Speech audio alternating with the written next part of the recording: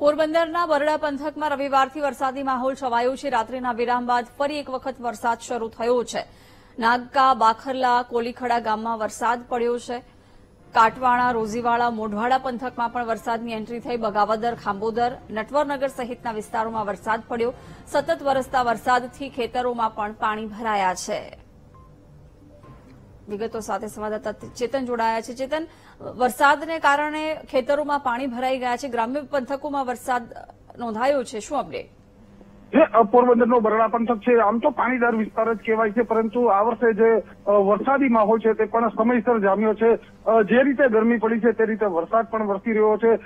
ગઈકાલે બપોરથી જે બરડા પંથકની અંદર વરસાદ વરસી રહ્યો છે તેને લઈને ખેતરોમાં પાણી ભરાયા છે અને વાવણી લાયક જે વરસાદ છે તે થઈ રહ્યો છે.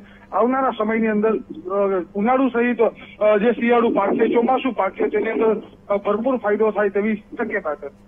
બિલકુલ. આભાર ચેતન જાણકારી આપવા બદલ.